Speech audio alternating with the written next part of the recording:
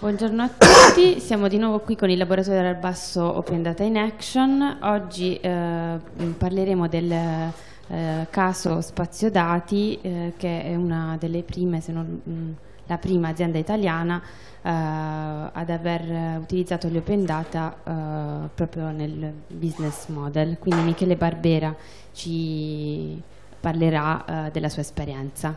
Grazie e seguiteci.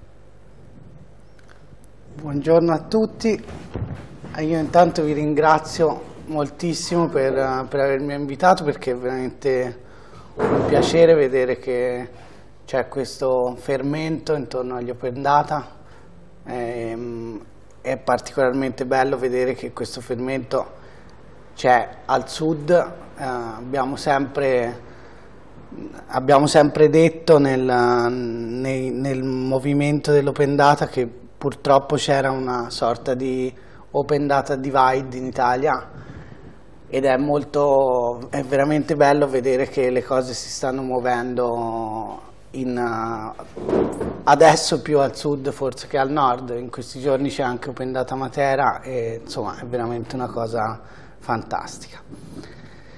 Allora, io, mh, dato che abbiamo tanto tempo oggi insieme, um, la prendo un po' larga. E, e, vi, e, vi, racconto un po' la storia di come, di come siamo arrivati all'idea imprenditoriale e poi anche a, al modello di business che era un po', doveva essere un po' il cuore dell'intervento eh, prendendola veramente molto molto molto alla lontana. Anche perché mh, io sono partito, ho, ho disegnato questo racconto pensando di non trovarmi davanti neanche un informatico, invece siete tutti informatici, quindi vi, vi, magari vi annoierò a morte e se lo faccio ditemelo. Eh, magnifico. allora parlo solo a voi, eh, gli informatici li ignoro. volevo raccontarvi, la, uh, volevo arrivare al web dei dati che è poi il cuore del, um, del, dell'intervento e anche dell'attività aziendale che io faccio, passando da un po' una storia del web, soffermandomi su, sugli aspetti storici ma soprattutto filosofici. Cosa intendo per filosofici? Intendo architettonici, dei principi fondanti i principi primi su cui eh, l'architettura del web è costruita, che poi si ritrovano anche mutati e, e, ed evoluti in qualche modo nel, nel web dei dati, che non è nient'altro che un'evoluzione tecnologica e sociale del web tradizionale.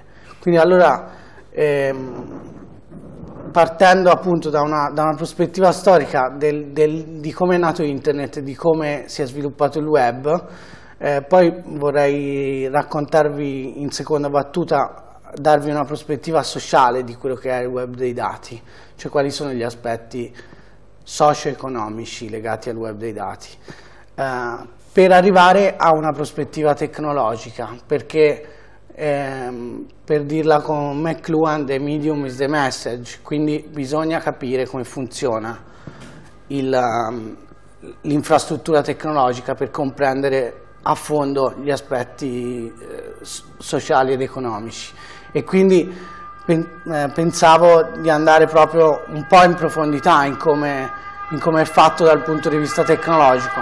Qui gli informatici tra di voi si suicideranno e, e mi scuseranno e mi scuseranno anche per uh, le semplificazioni.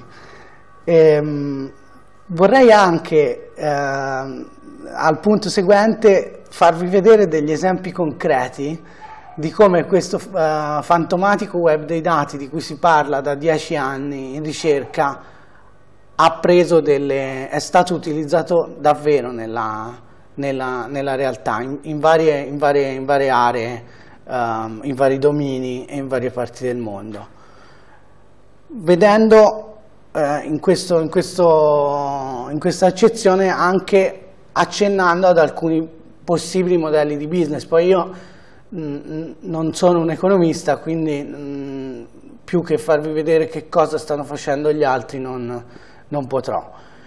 E oggi pomeriggio mi piacerebbe, eh, se vi va, fare una cosa pratica, eh, e cioè ehm, provare a fare un esercizio insieme semplice per produrli questi linked data, per produrlo il web dei dati, metterci le mani, cioè passare dagli open data cosiddetti a tre stelle, cioè i formati aperti, eh, il CSV per esempio, a un, a un, primo web dei dati a 4 stelle, cioè rappresentato sotto forma di, di linked data, senza il link.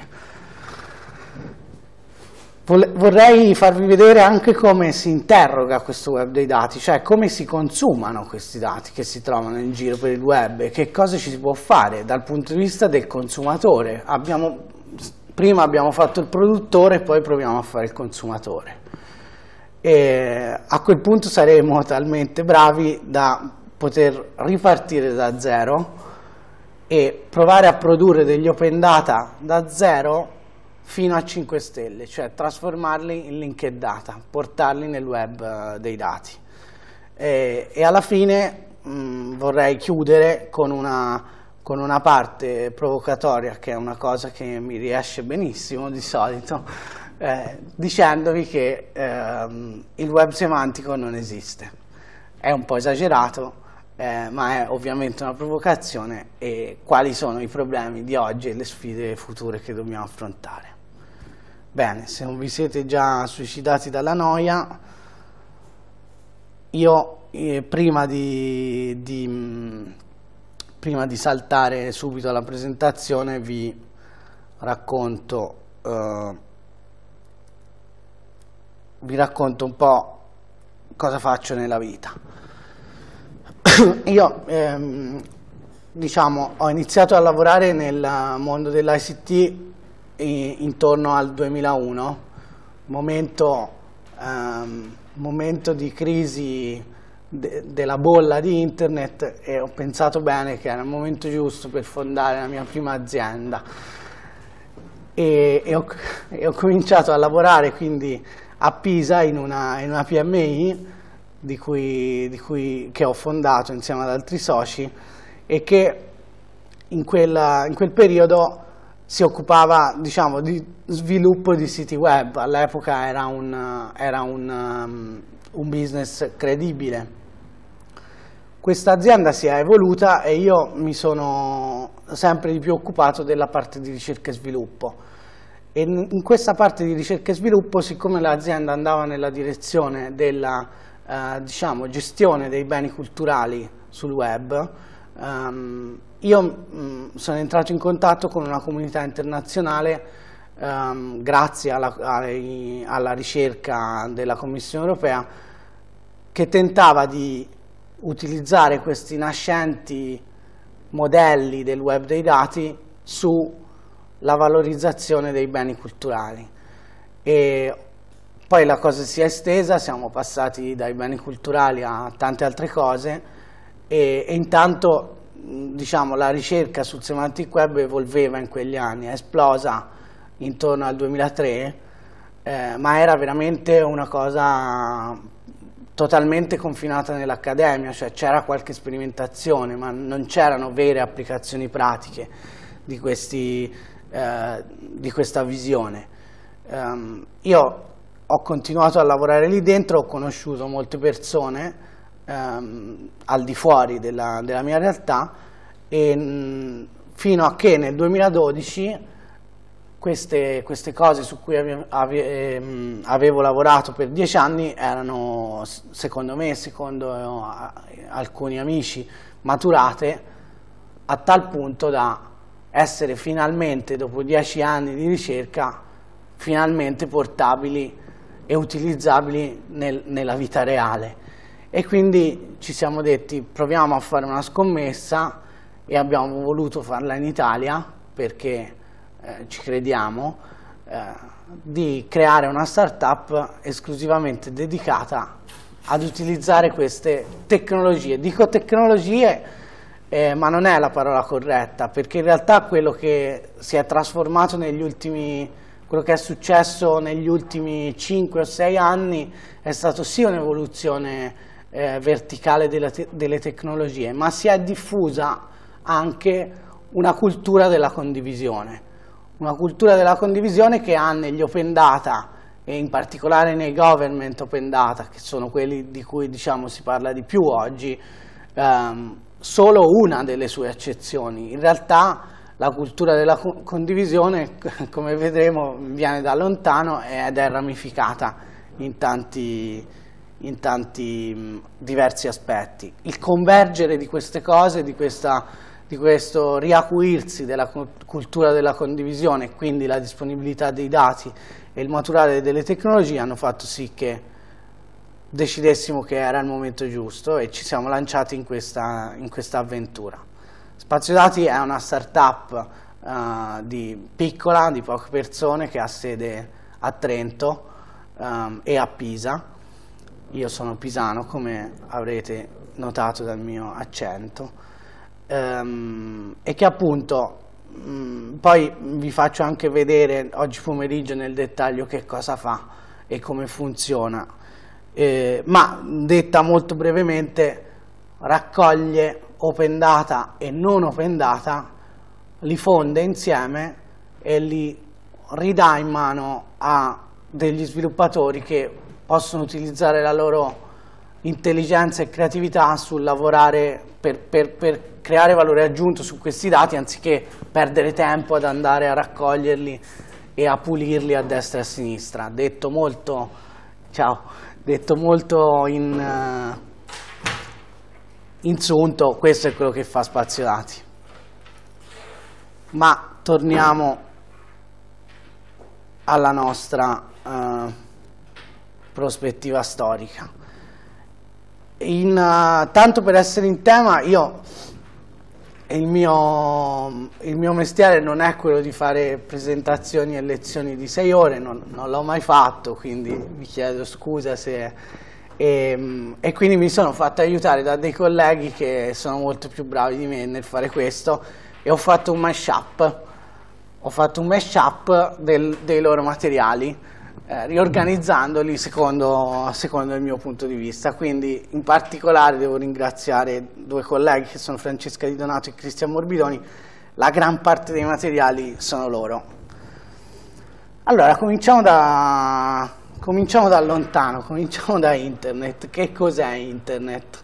Beh, internet, uh, internet è tante cose, è un uh, ammasso di ferraglia che è un, un insieme di, di, macchine collegate tra loro in qualche modo, in tanti modi diversi, eh, e anche eh, ovviamente sopra la ferraglia c'è del software che permette a queste macchine di interagire l'una con l'altra, ma soprattutto l'aspetto più dirompente di internet rispetto alle reti, per così dire, tradizionali è quello della comunità, la modalità di um, funzionamento che è il modo in cui coinvolge gli esseri umani più che le macchine.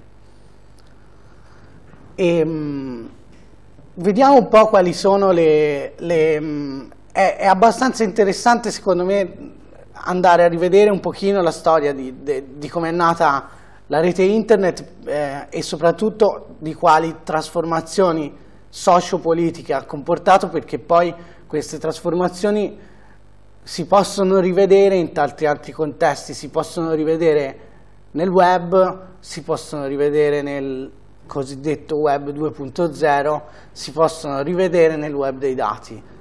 Tutte le volte mutate, uh, però è, è interessante che alla fine i principi fondanti probabilmente sono quasi gli stessi. Ehm, quindi andiamo a vedere eh, in, in, modo strettamente interconnesso l'evoluzione tecnologica e, e, e l'evoluzione sociale, cioè di, com di, come si evolve la rete dal punto di vista tecnologico e sociale che è sempre, eh, che è sempre una cosa stretta e, e coesa e con interdipendenze. Mm, le, le prime reti a pacchetti sono degli anni, sono degli anni 60, quindi stiamo parlando di ormai un po' di tempo fa, Um, il, il, prodromo di internet uh, viene da, da, da, ARPANET che è della, della, seconda metà degli anni 60 um, e anzi eh, insomma che si sostanzia alla fine degli anni, degli anni 60 il, um, è, è, interessante che, che già in quegli anni si comincia a parlare di topologia di rete e, um, questa, questa è, una cosa, è, una cosa, che ritroveremo perché un'altra un cosa che ci seguirà nel corso di questa storia è, um, sono le topologie, cioè vedremo come io per semplificare passiamo da una modalità di pensiero ad albero a una modalità di pensiero a rete um, in, in, diversi aspetti. Quindi è interessante già che ehm, che già alla metà degli anni 60 si inizia a ragionare su una rete distribuita eh, decentralizzata in cui um, i nodi sono, sono, connessi gli uni agli altri secondo uh, una, una, una, topologia quasi casuale mm, rispetto al, alle altre due reti che vedete qui dentro che sono modelli esistenti di reti, uh, di, reti di calcolatori e che però hanno una topologia per così dire più organizzata eh, e che però che naturalmente comporta dei vantaggi ma anche degli svantaggi importanti, sociali soprattutto. Eh, ho fatto casino.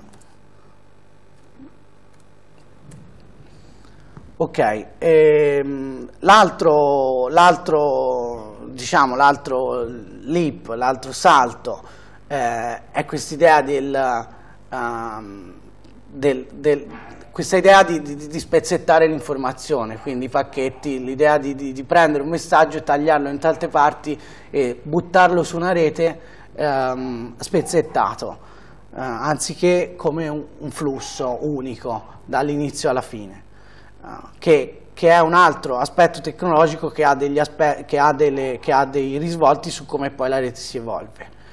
E nella, nella, nella, prima metà degli anni 70 um, ehm, Robert Kahn e Winton Cerf sviluppano il protocollo TCP/IP. Il protocollo TCP/IP è mh, lo stack um, tecnologico di protocolli di comunicazione sul quale poi tutti gli strati applicativi uh, più alti della, della, della rete sono, sono costruiti eh, il protocollo TCP/IP, parlo di stack perché è effettivamente una pila di cose eh, ed è molto interessante la, più che i tecnicismi di come funziona il sistema di, di deleghe che costruisce. Un protocollo è sostanzialmente una, una serie di convenzioni che permettono a due eh, entità di parlare eh, quindi ci sono, dei, ci sono, dei, protocolli umani, naturalmente quando incontriamo una persona che non conosciamo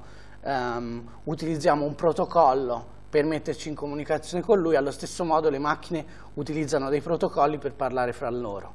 E, ehm, la, la, la, bellezza dello stack TCP/IP è che eh, è fatto a strati eh, e ogni, ogni i protocolli dello stato più basso si occupano di questioni diciamo, più vicine all'hardware fisico, eh, alla, alla, alla, ferraglia e mano a mano che si va sopra eh, i, i, protocolli diventano più astratti e, e quasi umani, permettete, e quindi comunicano con una semantica sempre più astratta.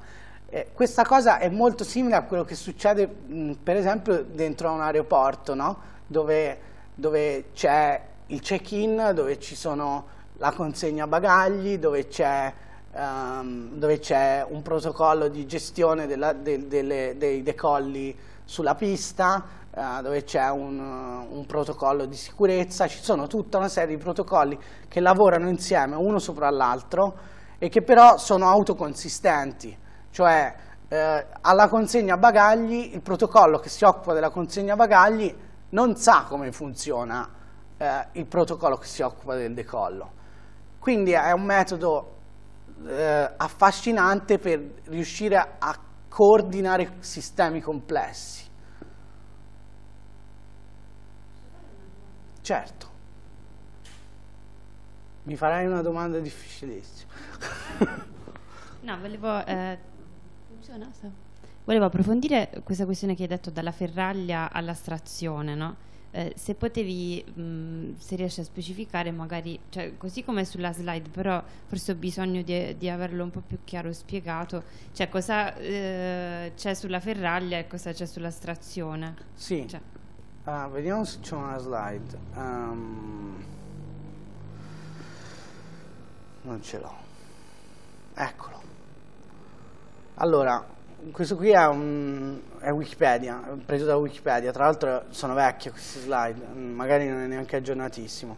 Eh, questi sono eh, diversi livelli della, della suite di, dello stack TCP/IP. Quindi c'è un livello fisico che è, per capirci, a livello di, eh, dei cavi, del, del, proprio della, della fibra, eccetera, eccetera poi c'è un livello superiore che si occupa di, eh, che, che, utilizza dei protocolli eh, tipo ATM, eh, PPP, che permettono i, i, un certo tipo di, di collegamenti. Poi c'è uno strato ancora superiore, uno, uno ancora superiore, che è quello dove c'è il TCP, e poi c'è quello delle applicazioni. Quello delle applicazioni è lo strato con cui noi interagiamo. Noi non vediamo noi diciamo, io ho un background informatico, non, non ho alcuna idea di come funzioni il livello fisico. Veramente mh, credo che mh, tra voi ci sono tanti ingegneri, quindi lo sapete benissimo come funziona. Io da, da, da sviluppatore posso non avere alcuna idea di come funziona quella cosa lì. Come io da utente di un servizio aeroportuale devo avere qualche idea di come funziona il, lo strato più alto, che è quello del check-in, ma non ho alcuna idea di come funziona il protocollo del, del, del, decollo e di comunicazione tra il pilota e la torre di controllo. È trasparente per me. E questa è un'architettura una sociale potente, perché permette lo stratificarsi delle cose eh, senza diciamo, doversi occupare ogni volta di tutto e quindi permette una, de una delega delle, delle conoscenze anche. Non è niente di nuovo, è una cosa che nei, nei sistemi umani accade tutti i giorni. E, ehm, grazie per la domanda. E, ehm, ci sono altri, ehm, una serie di, diciamo, di, di corollari potenti eh, su cui l'architettura di, di, internet è costruita, al di là dello stack del protocollo, e che poi anche questi ritroveremo. In particolare ci sono quattro regole base, uh, quattro, quattro, assiomi. Eh? Eh, ciascuna rete distinta doveva starsene per i fatti suoi e non doveva aver bisogno di modifiche per, per connettersi alla rete internet. Questo perché? Perché eh, internet nasce come rete di reti, cioè le reti già esistono, eh, c'è bisogno di un sistema per connettere tra loro reti che utilizzano protocolli diversi, hardware diverso, eccetera, eccetera. Quindi senza, prima regola, non dare noia a quello che già esiste continuare a farlo, non, non, non impogli niente. Eh, seconda, regola, ehm, seconda regola potentissima, eh, best effort, cioè um, l'idea che si possono perdere delle si può perdere delle informazioni, la rete deve essere resilient all'errore, cioè l'errore è parte del sistema, questa è una rivoluzione potentissima poi la rivediamo anche nel web, eh, è, è, è, uno sforzo concettuale importante, cioè progettare per l'errore. Oggi è la norma, diciamo, nei sistemi tecnologici, ma eh, poi mh, ci torniamo anche nel pomeriggio, vediamo che in realtà non è così tanto ovvio pensare che l'errore è una parte del sistema.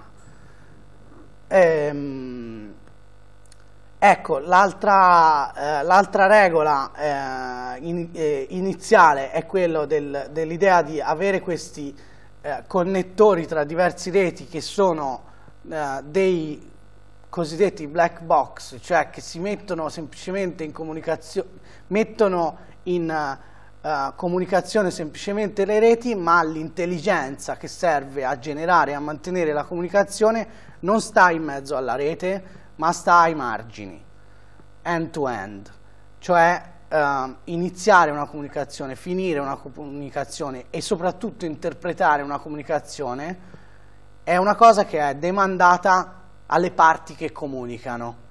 Anche questa è abbastanza una rivoluzione, perché altre topologie di rete, altre architetture di rete hanno un'intelligenza nei nodi che smistano in mezzo. Anche questa ha un, come vi immaginate, una portata sociale mm, non, non da poco. Eh, e, e, corollario non, non c'è quindi un, un controllo globale, non c'è una coordinazione globale centralizzata. Poi, poi ecco, stiamo, stiamo parlando di um, assiomi poi non sono tutte vere al 100%, sono molto più sfumate queste cose, però è interessante come sistema filosofico, più che poi come è nella pratica, eh, nella quotidianità. Ci, ci, sono, ci, sono, degli effetti eh, naturalmente variabili. Vabbè, eh, negli, anni, negli, anni, 80 mh, si, si, si sviluppa, eh, si sviluppano altri, altri, altri pezzi. Ehm, ehm, ecco, mh, mm, vabbè, magari andiamo un po' più veloci su queste cose qui. Mm, no, eh, magari solo nel 92 nasce la Internet Society, questo è un, un, passaggio, è un passaggio abbastanza importante perché non c'è coordinamento centrale, ma naturalmente un sistema che sta crescendo così rapidamente ha bisogno di degli organismi che permettono, che permettono di coordinarne in qualche modo l'evoluzione, ma soprattutto che permettano di definire i protocolli, cioè di definire come si fa a fare parte di questa rete, cosa, quali standard bisogna, bisogna adottare e di definire questi standard. La governance di questi enti è naturalmente un aspetto eh, politicamente molto sensibile, c'è un dibattito enorme in questi, in questi, anni sulla governance di questi enti che sottendono all'evoluzione di Internet, eh, perché sebbene non ce ne sia uno che controlla tutto, naturalmente hanno una uh, capacità di influenza. Um, Va bene, lasciamo, lasciamo... Ecco, quindi eh, di nuovo mh, qui rivediamo, eh, rivediamo i, i, punti fondamentali, no? eh, quindi cioè, i concetti che ci stanno alla base sono quelli della stratificazione, della scalabilità e della flessibilità. E, e l'architettura è fatta su una rete decentrata, su una intelligenza, potenza di calcolo, eh, distribuita attraverso tutti i nodi della rete senza, senza um, dei nodi, eh, eh, dei nodi mh, mm, chiave. Eh, e eh, questa, questa, resistenza all'errore con una uh, replicazione, anche uno spreco di risorse, cioè il, il, il modo in cui internet è disegnata non massimizza l'efficienza, se dovessimo se dovessimo disegnare una rete eh, utilizzando il minor numero possibile di risorse, la minor quantità possibile di risorse, probabilmente non, non disegneremo internet. Internet eh, è una rete eh, che ha, che ha eh, delle ridondanze forti, ha delle ridondanze forti in termini di servizi che vengono offerti alla rete per, per, essere, per essere resistente. E, e, e c'è un altro aspetto, e vedete che si intreccia qui uh, un po' quello che dicevo prima del, um, di, questo, di, questa um, idea della condivisione del sapere. un, un aspetto straordinario e determinante nella nascita del, della rete è l'accesso libero e aperto alla documentazione di base.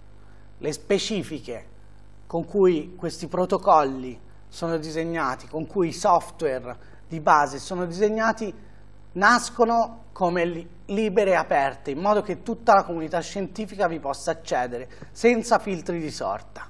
Questo è un elemento determinante nella nascita della, della, e nell'evoluzione della rete, cosa che non è tanto ovvia, perché ci sono tanti altri settori in cui se, sembra ovvia a dirla, no? Cioè è il modo in cui la scienza eh, ci aspettiamo che funzioni, cioè eh, c'è condivisione totale della conoscenza tra gli scienziati, perché eh, si sta sulle spalle dei giganti e quindi si costruisce su quello che hanno, eh, che hanno costruito i, i nostri colleghi ma invece non è tanto ovvia perché ehm, in, tanti, in, tanti, settori, in tanti, in tanti altri contesti, ehm, anche la documentazione tecnica di base mh, non è così accessibile. E, e, lo strumento, e, lo strumento, straordinario con cui questa, questa libertà si, si sostanzia sono le RFC request for comments, cioè letteralmente richiesta di commenti.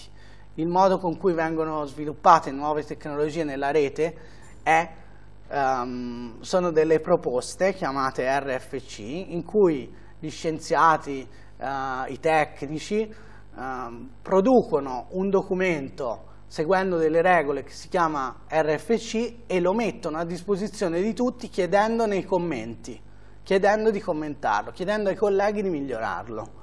È una modalità di, di co-working eh, ante litteram e, e, diciamo abbastanza rivoluzionaria, sebbene non nuova.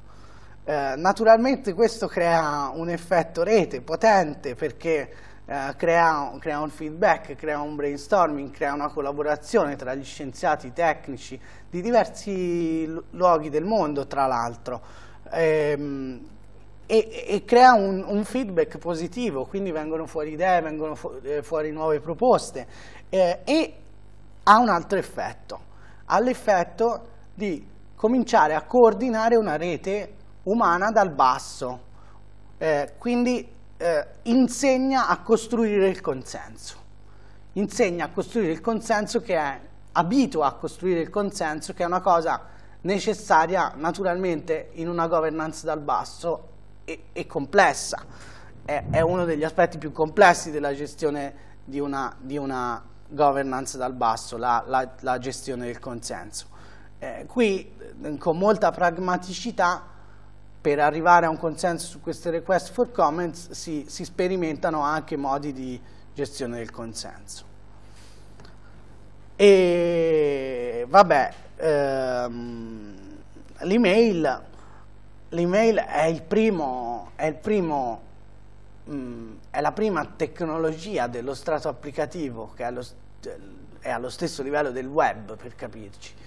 Um, che, che esplode e che, e che, viene usato da, da, da, tantissime, da tantissime, persone. Ehm, allora, interazioni felici ci, ci, ci torniamo dopo, eh, però ecco, mh, questa, questa modalità di creare conoscenza e di creare innovazione si ritrova ehm, in, con aspetti diversi nel movimento del free e dell'open source software, un po' più avanti nel tempo, eh, si ritrova nella, nella nascita di, di, del sistema operativo Linux, eh, si ritrova nel web, eh, si ritrova nell'open access, che è eh, un movimento per l'accesso aperto all'informazione scientifica, Uh, si ritrova in tutto quello che ruota intorno al, al copyleft, al Creative Commons, alle licenze aperte, attaccando questo problema da diversi, da diversi punti di vista e con variazioni significative. Però si vede una strada, si vede una, una traccia che tiene insieme tutte queste cose eh, che non sempre sono collegate.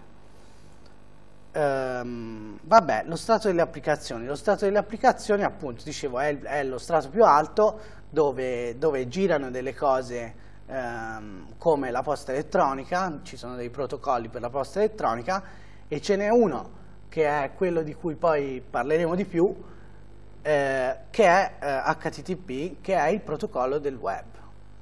Uh, quindi noi, noi, noi, utenti del web, noi sviluppatori web, conosciamo quasi solo quello ed è quello con cui abbiamo a che fare tutti i giorni. Siccome il web dei dati è per l'appunto uno strato del web, HTTP è importante perché è uno dei cardini del web dei dati. Questo è uno screenshot di un, uh, uno dei primi browser uh, del web, siamo nel, uh, negli anni 90, um, questo è Mosaic, sì, non è proprio il primissimo, ce n'erano prima, vedete che è sul Next, perché Tim Berners-Lee ha diciamo, sviluppato insieme ai suoi colleghi le prime versioni del web sul sistema operativo Next, cosa abbastanza buffa. E, um, vabbè, c'è Wikipedia apposta.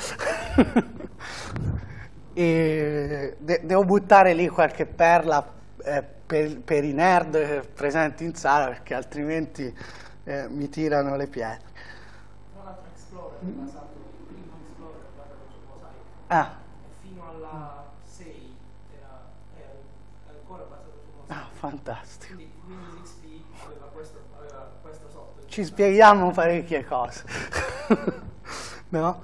E, ecco sì, i, i browser, uh, niente, il, il web si, si sviluppa nel, negli anni 90, negli anni, nei primi anni 90 c'è cioè il suo boom, sono bellissime le, le mailing list uh, che trovate ancora online se andate a cercare, sono eh, straordinarie le discussioni tra i ricercatori che costruiscono il web, perché parlano esattamente delle stesse cose che, di cui si parla adesso nelle mailing list dell'open data, del web of data, eccetera, eccetera. È incredibile, vi consiglio caldamente di andare a leggerle. Allora, ehm, il web eh, se lo inventa questo signore, ehm, che è Tim Berners-Lee, tutti lo conoscono, ehm, in realtà eh, non se lo inventa da solo naturalmente, se lo inventa in, in, in un contesto con, con, con, tutta una serie di colleghi, c'è eh, una, um, una, sua biografia molto bella che si chiama Weaving the Web eh, e che è molto romanzata, vi, Uh, vi consiglio di, di, leggerla perché è veramente piacevole. Eh, tra l'altro è tradotta anche in italiano, ora non ricordo uh, i riferimenti ma ce li ho, eh, ve li do eh, più, oggi pomeriggio. E questo signore lavorava al, al CERN di Ginevra, eh, quindi con dei fisici, faceva in realtà l'assistente e, e che problema aveva? aveva aveva il problema che c'erano tutti questi gruppi di lavoro al CERN, un centro di ricerca enorme, uh, tanti gruppi di lavoro, ognuno con il suo sistema di documentazione per, per interagire e scambiarsi documenti. Uh, uno usava uh, un sistema operativo, quell'altro ne usava un altro, uno usava un formato per, per l'encoding dei documenti, quell'altro gruppo ne usava un altro ancora, e, e quindi cioè, questo era un problema veramente serio per far interagire i gruppi, cioè, quindi questo era un ostacolo incredibile alla, alla disseminazione dentro una struttura di ricerca che è cioè un, una struttura di ricerca in fisica in cui i gruppi non possono parlare fra loro è, è un disastro naturalmente. Quindi lui eh, aveva questa idea di eh, il web in realtà non nasce con un grande disegno, nasce con l'idea di permettere a questi gruppi di ricerca di scambiarsi documenti senza impazzire, sostanzialmente. E, e diciamo, dal punto di vista del, del background non inventa quasi niente perché gli ipertesti nello, siamo nell'89, i primi ipertesti sono degli anni 50-60 uh, eh, se non mi sbaglio. E quindi c'è un'idea un ben nota. Quello che, quello che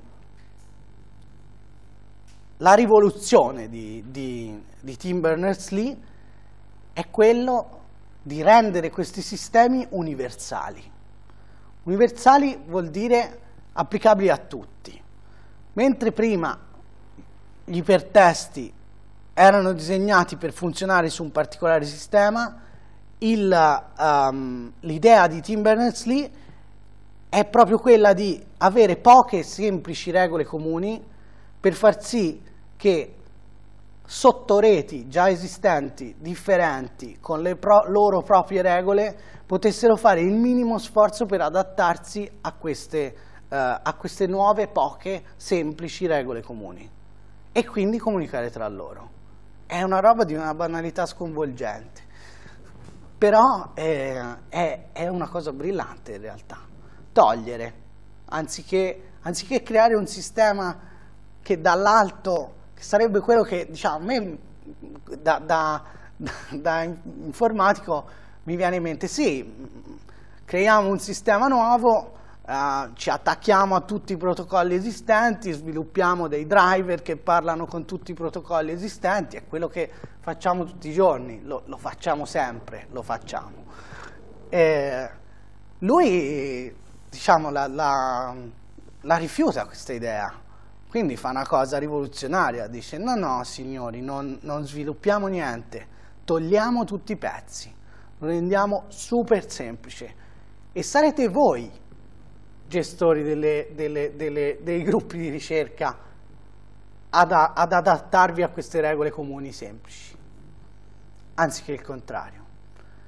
E, ehm, e, ok, e, ehm, c'è una, una, una, una, cosa, una, un, diciamo un, si cita sempre quando si parla del web e del, dell'ipertesto e non a caso uh, questo, questo, articolo di Vannevar Bush uh, in cui lui um, affronta il tema di uh, come la tecnologia può, può contribuire alla, alla, alla crescita dell'umanità e alla, e alla um, ed, è, ed, è molto, ed, è, molto, bellino leggerlo perché dice eh, come poi il bagaglio della conoscenza umana accumulatasi fino ad oggi e avvenire aiutare l'uomo a vivere in pace, cioè quindi lui invece la prende un po' più sul filosofico rispetto a quanto poi fa eh, Berners-Lee um, e, e, quindi non è, non è, non è una, non è una, un saggio puramente tecnico, ma è, parte da dei principi filosofici e su una riflessione politica di come, eh, di come si eh, genera il sapere e di come il sapere si comunica. E è um, la, il, il, il, cuore del ragionamento di Van der Bush è, è l'osservazione che eh, la conoscenza umana è un insieme collegato in un tutto uh, e che um, diciamo, ha valore perché è collegata.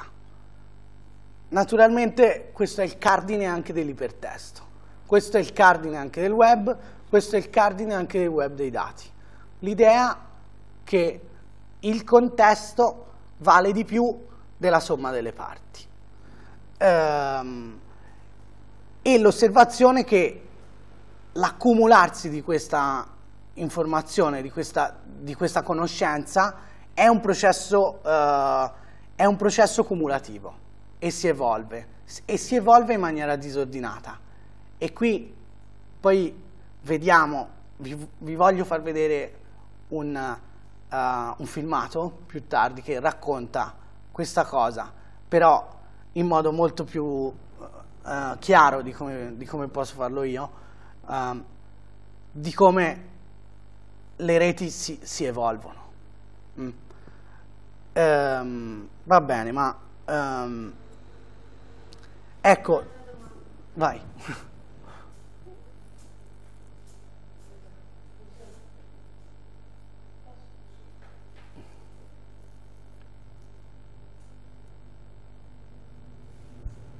Vado. Non ho capito bene in che senso il contesto vale di più della somma delle parti. Mm, il, um, diciamo, il, lo vediamo ora nel Memex, okay. uh, però diciamo, il tema, l'idea di fondo è che um, il sapere l'informazione diventa conoscenza quando è collegata, quando eh, riesci a calarla in un contesto. Una informazione che tu hai disconnessa dal contesto è difficilmente trasformabile in conoscenza. Questa è una roba mm, ovvia e naturale, nel senso che l'idea del link e quindi questi collegamenti della conoscenza non è un'invenzione dell'ipertesto. Quando tu vai in una biblioteca, quando tu studi un argomento, prendi un libro, lo leggi, e leggi le reference, le citazioni, questa cosa ti fa saltare a un altro libro, costruisci delle piste. Cioè, e, e uso la parola piste perché Van Nevar Bush ehm, parla proprio degli scienziati come battitori di piste. Cioè lui dice, eh, gli scienziati si trasformeranno con questa sua macchina che è... Ops, ho fatto un po' casino. Uh, vediamo se riesco.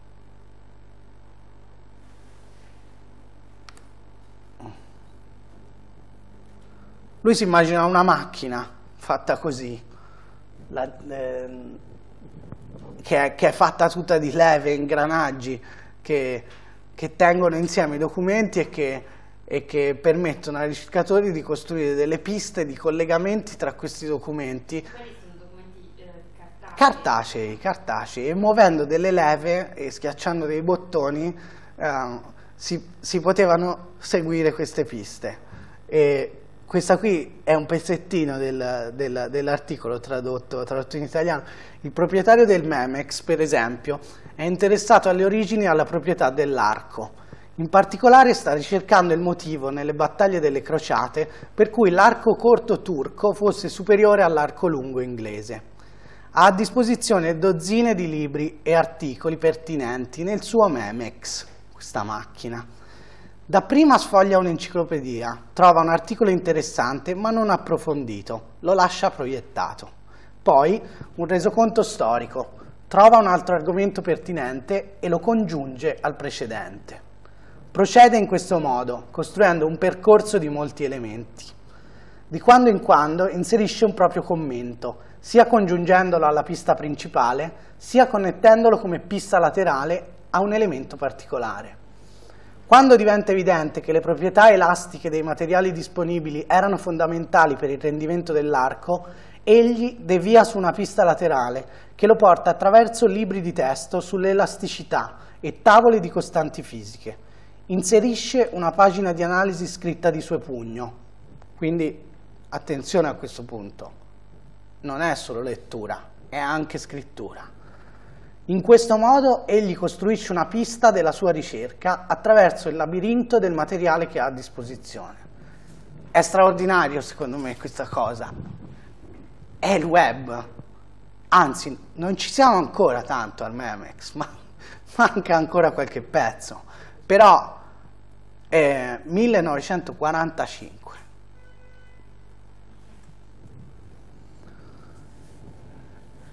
E vi leggo un altro pezzettino della, de, di, di, un, di, una cosa un po' posteriore del 99 di Tim Berners-Lee, l'architettura del nuovo web. L'invenzione del www ha comportato la crescente comprensione da parte mia del potere insito nel disporre le idee in maniera libera, reticolare, una consapevolezza che ho appunto acquisito tramite questo genere di procedura. Un computer conserva le informazioni secondo gerarchie e matrici rigide, mentre la mente umana possiede la dote speciale di saper collegare fra loro frammenti casuali di dati. se quando sento l'odore di caffè mi rivedo in una cameretta sopra una tavola calda a Oxford. Il mio cervello crea un collegamento e mi riporta là all'istante. È di nuovo la stessa cosa, no? È il link. Uh, è l'idea di link eh, rivista da, uh, da Tim Berners-Lee che poi la mette dentro, uh, dentro l'ipertesto. questa è una vignetta tedesca carina che eh, ci sono questi due che dicono Sie denkt rhizomatisch, cioè pensa a grafo, lei sta pensando a grafo, quindi con dei link. E ehm, forse no, andiamo avanti un altro pochino e poi magari possiamo fare una pausa così mm, non, non buttiamo insieme troppe cose. Quindi, ricapitolando, ehm, l'elemento più importante del, um, del web, l'elemento dirompente del web rispetto agli ipertesti è l'idea dell'universalità. L'universalità significa che è totalmente indipendente dall'hardware e dal software, significa che adotta uno standard per la codifica dei caratteri che permettono la presenza sul web alle diverse lingue, perché c'è anche naturalmente l'aspetto delle lingue, cosa che al web, al CERN è evidente, perché ci sono scienziati di tutto il mondo, eh, e eh, è pensato dall'inizio e crea e diffonde degli standard per l'accessibilità, eh, pensando e lavorando già dalle, dalle sue fondamenta eh, anche con ehm, pensando a, a, far funzionare anche delle macchine obsolete, per esempio, cosa che nel laboratorio in cui lavora eh, è abbastanza comune, cioè c'è chi ha macchine avanzate potenti, c'è chi ha macchine obsolete, c'è chi eh, ha problemi di, di, di visione, di, di, movimento, eccetera, eccetera. E quindi l'idea dell'universalità è l'idea di saper rispondere a tutte queste esigenze. Io, io mi, mi, mi fermerei qui se eh, se siete d'accordo facciamo una pausetta e poi andiamo avanti.